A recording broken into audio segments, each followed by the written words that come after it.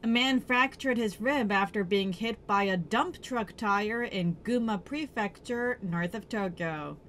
The CCTV footage shows two tires, which belonged to a dump truck, rolling down the road.